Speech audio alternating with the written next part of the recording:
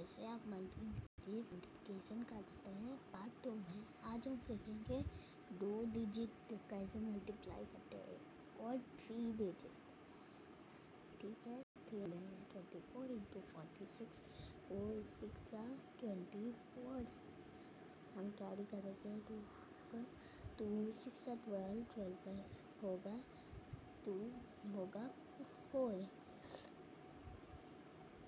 सो एक हम और कैरी कर देते हैं three six are eighteen eighteen plus one होगा नाइनटीन अब नेक्स्ट करते हैं, पर एक चीज़ मैं आपको ध्यान दिलाना चाहता हूँ कि जो हमारी टिप ये है फोर ये फोर्टी है, क्योंकि ये टेंस की प्लेस पर है। और हम जानते हैं कि जो नंबर टेंस की प्लेस पर रहेगा, वो बड़ा रहेगा।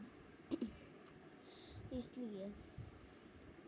तो फिर हमको एक ज़ीरो लगाना पड़ेगा टेन टाइम्स बिगर करने के लिए। ठीक है?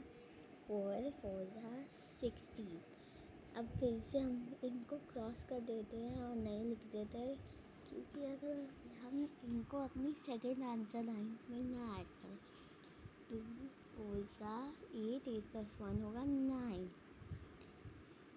थ्री फोर ज़ा ट्वेल्व अब हम ख़त्म नहीं हुए अब हमको इनको ऐड करना है।